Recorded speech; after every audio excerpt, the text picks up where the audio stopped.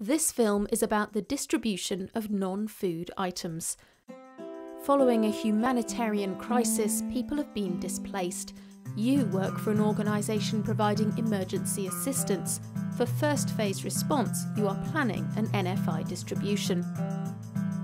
The distribution team should include women and people from different groups. The team composition should not put anyone at risk consult with the affected populations to identify their needs and work out the best time and location for the distribution.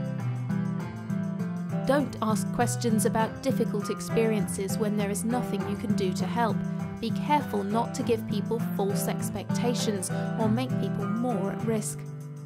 Make sure you talk to everyone you need to, including the local authorities. Choose distribution locations that are safe for everybody. A poor site might lead to increased exposure to sexual violence or possible confrontation with the host population. Once there is a plan, keep everyone informed. Use distributions to conduct training and share important messages.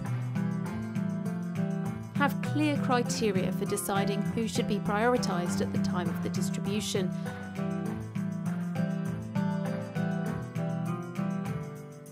Identify people who will need help with transport and with building shelters. Ensure that you and the other team members know what to do if they come across persons who've experienced gender based violence and what services they can be referred to. Your team should be familiar with their agency's code of conduct. Sexual exploitation or abuse of beneficiaries is strictly prohibited. To ensure that people can bring specific needs to your attention, set up a complaints area. Conduct post distribution monitoring to check that the distribution has met the needs, including those of vulnerable groups.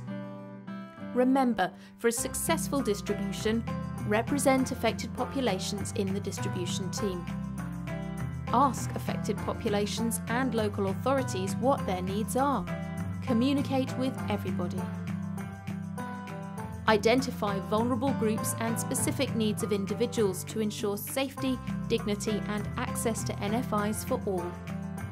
Know how and where to safely refer survivors of gender based violence, including sexual exploitation or abuse by humanitarian staff.